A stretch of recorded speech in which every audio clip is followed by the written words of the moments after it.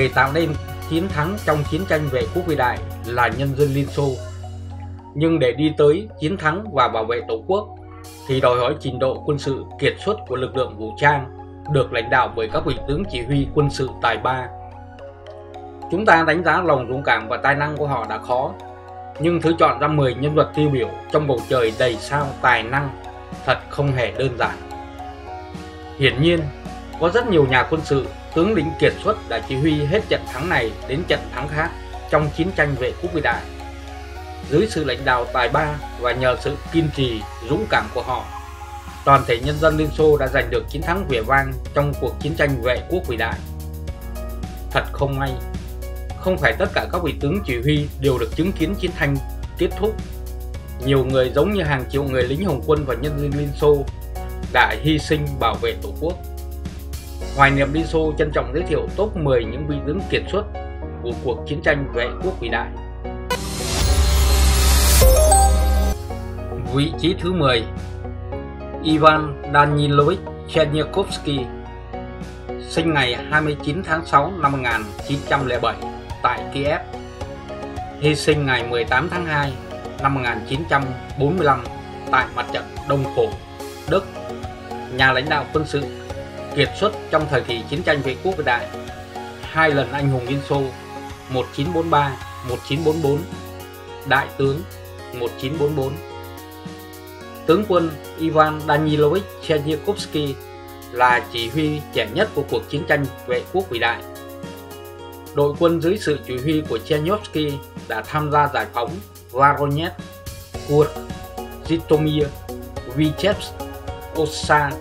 Vilnius, Kaunas và nhiều thành phố khác. Nổi bật nhất là trận chiến giải phóng Kiev, Min và sau đó là đánh bại phát xít Đức ở Đông Phổ đại tướng quân đội, hai lần anh hùng Liên Xô. Rất buồn là Ivan Danilovich đã hy sinh ngày 18 tháng 2 năm 1945 tại mặt trận Pensac Đông Cổ do trúng thương mảnh đạn pháo trên con đường tiến vào Berlin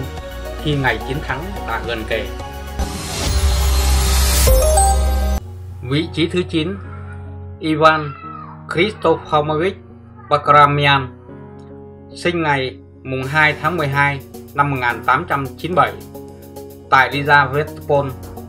mất ngày 21 tháng 9 năm 1982 tại Moscow, Liên Xô. Nhà lãnh đạo quân sự kiệt xuất trong thời kỳ chiến tranh vệ quốc vĩ đại, nguyên soái Liên Xô năm 1955, hai lần anh hùng Liên Xô năm 1944, 1977,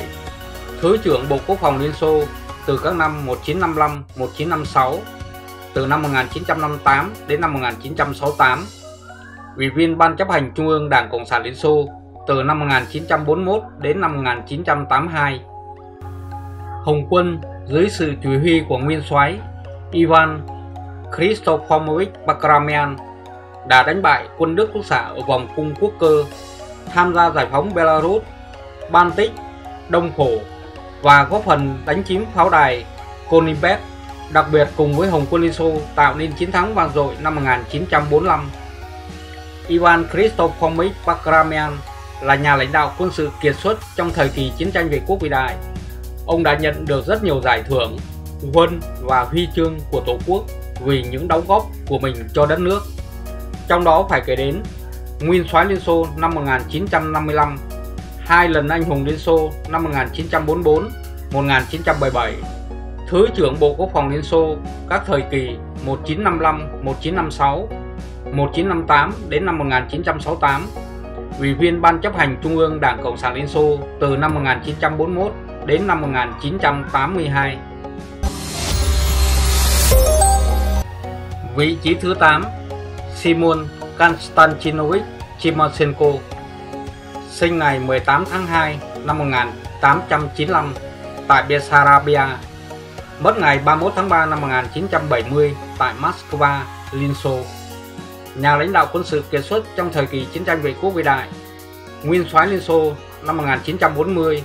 hai lần anh hùng Liên Xô năm 1940, 1965, huân chương chiến thắng năm 1945, chính ủy quốc phòng nhân dân Liên Xô tháng 5 năm 1940 đến tháng 7 năm 1941, thành viên đoàn chủ tịch Xô Viết tối cao Liên Xô từ năm 1938 đến năm 1940, ủy viên dự khuyết Ban chấp hành Trung ương Đảng Cộng sản Liên Xô từ năm 1952 đến năm 1970. Vào tháng 7 tháng 8 năm 1941, dưới sự chỉ huy của Simon Konstantinovich Timoshenko, các trận đánh phòng thủ vô cùng cam go đã diễn ra trên lãnh thổ Belarus và đã ngăn chặn bước tiến của tập đoàn quân trung tâm của Đức. Tên tuổi của ông gắn liền với cuộc phòng thủ anh dũng tại các thành phố Magilov và Gomen, những pha phản công gần Vitebsk và Bupruisk. Simon Konstantinovich Timoshenko, nguyên soái Liên Xô trong cuộc chiến tranh vệ quốc vĩ đại, chính ủy Bộ Quốc phòng Liên Xô, thành viên Bộ Tư lệnh tối cao, Tổng tư lệnh các phương diện quân Tây và Tây Nam. Từ tháng 7 năm 1942, ông chỉ huy phương diện quân Stalingrad và phương diện quân Tây Bắc. Từ năm 1943, đại diện Bộ Tư lệnh tối cao tại các mặt trận. Vị trí thứ 7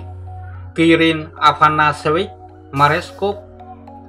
sinh ngày 7 tháng 6 năm 1897 tại Ryazan, mất ngày 30 tháng 12 năm 1968 tại Moscow, Liên Xô. Nhà lãnh đạo quân sự kiệt xuất trong thời kỳ chiến tranh Vệ quốc vĩ đại, nguyên soái Liên Xô năm 1944, anh hùng Liên Xô năm 1940, huân chương chiến thắng năm 1945, ủy viên dự khuyết Ban chấp hành Trung ương Đảng Cộng sản Liên Xô từ năm 1939 đến năm 1956, ủy viên Ban chấp hành Trung ương Đảng Cộng sản Liên Xô từ năm 1956 đến năm 1961. Trong cuộc chiến tranh vệ quốc vĩ đại, Kirin Afanasevich Mereskov đã chỉ huy các mặt trận phía Bắc. Năm 1941, Mereskov đã đánh bại và gây thất bại nặng nề đầu tiên trong cuộc chiến cho quân của thống chế Lev gần Tikhvin. Vào ngày 18 tháng 1 năm 1943, quân của các tướng Govorov, Mereskov đã phản tấn công gần Slissenburg chiến dịch Iskra, phá vỡ phong tỏa Leningrad và vào tháng 6 năm 1944, dưới sự chỉ huy của hai tướng, là đánh bại thống chế Menahem ở Karelia. Vào tháng 10 năm 1944, nguyên soái Liên Xô, anh hùng Liên Xô Mereskov đã đánh bại kẻ thù ở Bắc Cực gần Bechenga. Vào mùa xuân năm 1945, Kirin Afanasevich Mereskov được cử đến Viễn Đông vào tháng 8 đến tháng 9 năm 1945, quân của ông tham gia đánh bại quân đội Quang Tung, tiến vào Màn Châu từ Viễn Đông và giải phóng các khu vực giáp biên giới Trung Quốc và Triều Tiên. Vị trí thứ 6 Alexander Mikhailovich Vasilevsky sinh ngày 30 tháng 9 năm 1895 tại Kostroma, mất ngày 5 tháng 12 năm 1977 tại Moscow, Liên Xô. Nhà lãnh đạo quân sự kiệt xuất trong thời kỳ chiến tranh vệ quốc vĩ đại, tư lệnh Liên Xô, nguyên soái Liên Xô năm 1943, tránh văn phòng Bộ Tổng tham mưu Liên Xô, thành viên Bộ Tư lệnh tối cao, Tổng tư lệnh Bộ Tư lệnh các lực lượng vũ trang Liên Xô ở Viễn Đông, Bộ trưởng Bộ lực lượng vũ trang Liên Xô và Bộ trưởng Bộ chiến tranh Liên Xô Ủy viên Ban chấp hành Trung ương Đảng Cộng sản Liên Xô từ năm 1952 đến năm 1961. Alexander Mikhailovich Vasilevsky, một nhà lãnh đạo quân sự xuất sắc, Tổng tham mưu trưởng trong 34 tháng trong thời kỳ chiến tranh, tại Bộ Tổng tham mưu và ở mặt trận trong 22 tháng. Zhukov và Vasilevsky đã phát triển tư duy chiến lược và sự hiểu biết sâu sắc về tình hình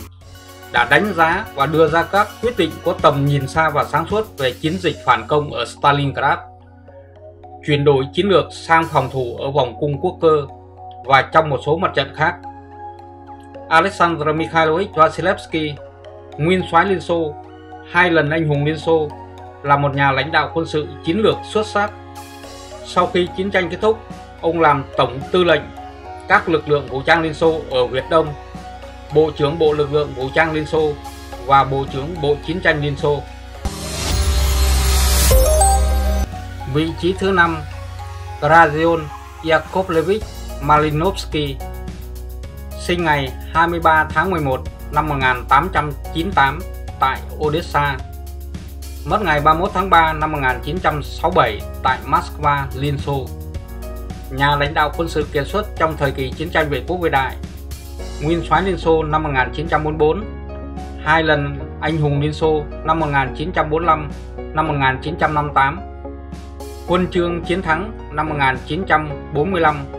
Bộ trưởng Bộ Quốc phòng Liên Xô từ năm 1957 đến năm 1967. Trong cuộc chiến tranh vệ quốc vĩ đại,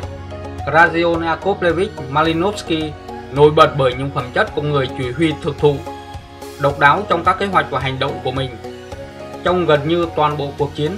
một đặc điểm đáng chú ý về tài năng chỉ huy của ông là trong kế hoạch của mỗi cuộc hành quân, ông đều đưa ra một số phương pháp hành động bất ngờ cho kẻ thù và có thể đánh lường kẻ thù bằng một hệ thống tư duy kỹ lưỡng. Radion Yakovlevich Malinovsky, nguyên soái Liên Xô, từ tháng 10 năm 1942 là phó tư lệnh phương diện quân Voronezh, tư lệnh tập đoàn quân cận vệ số 2, phương diện quân Nam, Tây Nam, phương diện quân Ukraine số 3 và số 2 xuyên Baikan. Dưới sự chỉ huy của ông, Odessa được giải phóng và sau đó ông được bổ nhiệm làm tư lệnh phương diện quân Ukraine số 2. Vị trí thứ tư Ivan Chepanovich Kanyev sinh ngày 28 tháng 12 năm 1897 tại Vologda, mất ngày 21 tháng 5 năm 1973 tại Moscow, Liên Xô. Nhà lãnh đạo quân sự kiệt xuất trong thời kỳ chiến tranh vệ quốc vĩ đại, nguyên soái Liên Xô năm 1944, hai lần anh hùng Liên Xô năm 1944, 1945, huân chương chiến thắng năm 1945, Tổng tư lệnh các lực lượng vũ trang thống nhất của các nước thành viên Hiệp ước Warsaw từ năm 1955 đến năm 1960, Thứ trưởng thứ nhất Bộ Quốc phòng Liên Xô từ năm 1956 đến năm 1960, Tổng tư lệnh các lực lượng lục quân các thời kỳ 1946, 1950 và 1955, 1956. Ivan Stepanovich Kanyev sở hữu phẩm chất hiếm có của lãnh đạo quân sự là sự trực giác, sự bất ngờ trong từng trận đánh. Tài năng chỉ huy của ông được thể hiện một cách thuyết phục và rõ ràng nhất trong các chiến dịch tấn công, đã giành được nhiều chiến công rực rỡ. Đồng thời, ông luôn cố gắng không tham gia vào các trận đánh kéo dài ở các thành phố lớn và buộc địch phải di chuyển vòng vèo để buộc địch phải rời thành phố. Điều này cho phép ông giảm bớt tổn thất cho quân đội và ngăn chặn sự tàn phá và thương vong lớn cho dân thường. Ivan Stepanovich Kanyev, nghiêm soái Liên Xô năm 1944, hai lần anh hùng Liên Xô 1944-1945, huân chương chiến thắng năm 1945, tổng tư lệnh các lực lượng vũ trang thống nhất của các nước thành viên Hiệp ước Warsaw từ năm 1955 đến năm 1960, Thứ trưởng thứ nhất Bộ Quốc phòng Liên Xô từ năm 1956 đến năm 1960, Tổng tư lệnh các lực lượng lục quân các giai đoạn 1946-1950 và 1955-1956. Vị trí thứ ba Vasily Ivanovich Chuikov sinh ngày 12 tháng 2 năm 1900 tại Tula, mất ngày 18 tháng 3 năm 1982 tại Moscow, Liên Xô. Nhà lãnh đạo quân sự kiệt xuất trong thời kỳ chiến tranh vệ quốc vĩ đại, nguyên soái Liên Xô năm 1955, hai lần anh hùng Liên Xô năm 1944, 1945, huân chương chiến thắng năm 1945, tổng tư lệnh lực lượng vũ trang Liên Xô tại Đức từ năm 1949 đến năm 1953, tư lệnh quân khu Kiev từ năm 1953 đến năm 1960, tổng tư lệnh lực lượng lục quân Liên Xô, thứ trưởng quốc phòng Liên Xô từ năm 1960 đến năm 1964, tư lệnh lực lượng phòng vệ dân sự Liên Xô từ năm 1961 đến năm 1972, ủy viên Ban chấp hành Trung ương Đảng Cộng sản Liên Xô từ năm 1961 đến năm 1982. Vào đầu cuộc chiến tranh vệ quốc vĩ đại, Vasily Ivanovich Chuikov từng là tùy viên quân sự tại Trung Quốc. Khi chiến tranh xảy ra, ông yêu cầu được điều động ra mặt trận. Vào tháng 5 năm 1942, từ Trung Quốc, Chuikov được cử đến Tula để thành lập đoàn quân ra mặt trận Stalingrad trong những giai đoạn quan trọng nhất bảo vệ Stalingrad kéo dài 180 ngày. Quân của nguyên soái Chuikov không chỉ chống chọi với những trận chiến liên miên mà còn tham gia tích cả việc đánh bại quân Đức ở giai đoạn cuối cùng của mặt trận Stalingrad. Ngoài ra, ông trực tiếp chỉ huy ở Zaporozhye, vượt sông Donetsk, tham gia mặt trận Nikopol, Odessa và Lublin. Vị trí số 2 Konstantin Konstantinovich Kratkasovsky sinh ngày 21 tháng 12 năm 1896 tại Pskov, mất ngày 3 tháng 8 năm 1968 tại Moscow, Liên Xô. Nhà lãnh đạo quân sự kiệt xuất trong thời kỳ chiến tranh vệ quốc vĩ đại, nhà lãnh đạo quân sự Liên Xô và Ba Lan, hai lần anh hùng Liên Xô năm 1944, 1945, huân chương chiến thắng năm 1945 nguyên soái duy nhất của hai quốc gia trong lịch sử Liên Xô. Nguyên soái Liên Xô năm 1944 và nguyên soái Ba Lan năm 1949. Ông chỉ huy cuộc duyệt binh chiến thắng ngày 24 tháng 6 năm 1945 trên quảng trường đỏ ở Moscow. Phẩm chất vô giá của các chỉ huy Liên Xô là khả năng chấp nhận rủi ro hợp lý. Đó là đặc điểm lãnh đạo quân sự đã được ghi nhận của nguyên soái Konstantin Konstantinovich Raskasovsky ở chiến dịch Belarus khi ông chỉ huy phương diện quân số 1 Belarus lập chiến công lừng lẫy ở mặt trận Bryan, sông Đông cho tới ngày chiến thắng. Nhà lãnh đạo quân sự kiệt xuất trong thời kỳ chiến tranh vệ quốc vĩ đại, nhà lãnh đạo quân sự Liên Xô và Ba Lan, hai lần anh hùng Liên Xô vào năm 1944, năm 1945, huân chương chiến thắng năm 1945, nguyên soái duy nhất của hai quốc gia trong lịch sử của Liên Xô đó là nguyên soái Liên Xô năm 1944 và nguyên soái Ba Lan năm 1949. Ông chỉ huy cuộc diệt binh chiến thắng ngày 24 tháng 6 năm 1945 trên quảng trường đỏ ở Moscow. Vị trí số 1 Georgy Konstantinovich Zhukov sinh ngày 1 tháng 12 năm 1896 tại Kaluga, mất ngày 18 tháng 6 năm 1974 tại Moscow, Liên Xô. Nhà lãnh đạo quân sự kiệt xuất trong thời kỳ chiến tranh vệ quốc vĩ đại, nguyên soái Liên Xô năm 1943, phó tổng tư lệnh tối cao các lực lượng vũ trang Liên Xô, thành viên bộ tổng tư lệnh tối cao, bốn lần anh hùng Liên Xô vào các năm 1939, 1944, 1945, 1956, hai huân chương chiến thắng năm 1944 1945 Ủy viên Đoàn Chủ tịch Ban chấp hành Trung ương Đảng Cộng sản Liên Xô từ tháng 6 đến tháng 10 năm 1957 Bộ trưởng Bộ Quốc phòng Liên Xô từ năm 1955 đến năm 1957 Ông chỉ huy cuộc duyệt binh chiến thắng ngày 24 tháng 6 năm 1945 trên quảng trường đỏ ở Moscow. Georgy Konstantinovich Zhukov với tài năng lãnh đạo cùng tính sáng tạo, đổi mới và khả năng đưa ra những quyết định bất ngờ. Ông còn nổi bật bởi trí thông minh sâu sắc và sự sáng suốt. Khả năng này của Zhukov đóng vai trò đặc biệt quan trọng trong việc phòng thủ Leningrad và Moscow. Khi với lực lượng cực kỳ hạn chế, chỉ nhờ trình độ trinh sát tốt và đoán trước các hướng tấn công có thể của kẻ thù, ông mới có thể thu nhập gần như tất cả các phương tiện sẵn có và đẩy lùi các cuộc tấn công của Đức. Georgy Konstantinovich Zhukov nguyên soái Liên Xô, phó tổng tư lệnh tối cao các lực lượng vũ trang Liên Xô, thành viên bộ tư lệnh tối cao, ông chỉ huy quân các mặt trận dự bị, mặt trận Leningrad, mặt trận phía Tây và mặt trận số 1 Belarus, điều phối hợp đồng tác chiến các mặt trận và góp phần to lớn vào việc giành thắng lợi giải phóng Berlin. Nguyên soái Zhukov đã kết thúc chiến tranh vệ quốc vĩ đại bằng chiến dịch Berlin quy mô lớn ngày 8 tháng 5 năm 1945 tại Berlin, ông chấp nhận sự đầu hàng hoàn toàn của quân Đức và nguyên soái von Keiten của Đức. Vào ngày 24 tháng 6 năm 1945, Georgy Konstantinovich Zhukov đã tham gia điều hành cuộc duyệt binh chiến thắng nổi tiếng ở Moscow. Bạn hãy theo dõi các video tiếp theo trên kênh Hoài niệm Liên Xô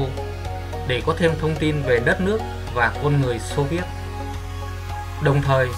lưu lại những khoảnh khắc hoài niệm, những dấu ấn sâu lắng trong lòng của nhiều thế hệ người Việt đã từng gắn bó những năm tháng tuổi trẻ của mình tại Liên Xô. Chúc bạn luôn vui vẻ.